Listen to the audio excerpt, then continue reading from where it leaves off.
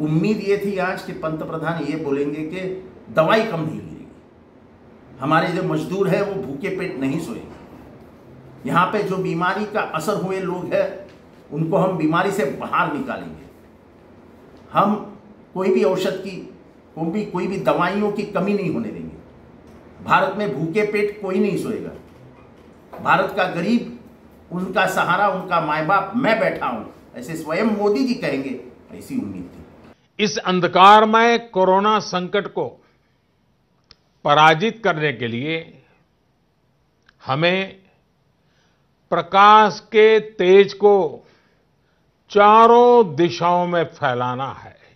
5 अप्रैल को, रविवार को रात 9 बजे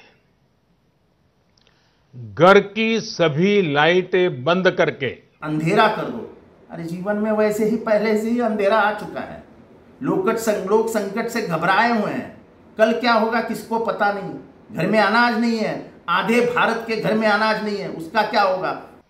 पाँच अप्रैल को, रात को, नौ बजे, नौ मिनट तक यदि घर की सभी लाइटें बंद करेंगे, चारों तरफ़ जब हर व्यक्ति एक एक दिया जलाएगा तो बोले, अंधेरा कर दो और टॉर्च चला।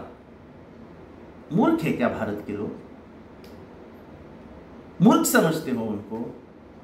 मैं आज कह रहा कि मैं मूर्ख नहीं हूँ। मैं दिए नहीं जलाऊँगा। मैं काम कर रहा हूँ लोगों के लिए।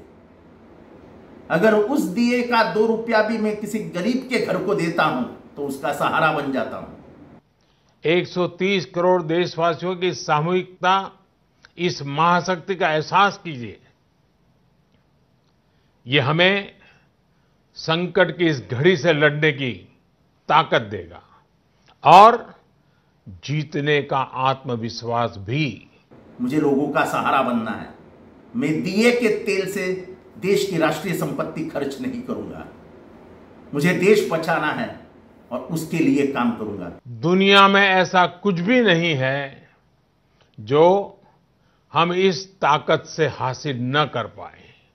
आइए साथ आकर साथ मिलकर कोरोना को हराएँ। बस हुआ बस हुआ। हर संकट का भी अगर आप इवेंट बनाना चाहोगे तो क्या देश को मूर्ख समझते हो? मैं मूर्ख नहीं है आप अपना सोच लीजिए। ताज़ा तरीन खबरों के लिए हमारे YouTube चैनल को सब्सक्राइब करें और बेल आइकॉन दबाना ना भूलें। अगर आप Facebook पर देखते हैं तो हमारे पेज को लाइक करें।